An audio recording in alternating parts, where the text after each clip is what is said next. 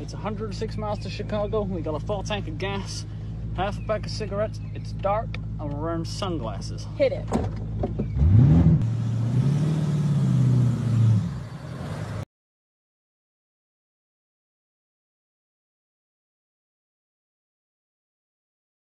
So, what's this? What? So, what's this? What? This car. This stupid car. Where's the Cadillac? Where's the caddy? The what? The Cadillac that we used to have. Where's the Bluesmobile? I traded it.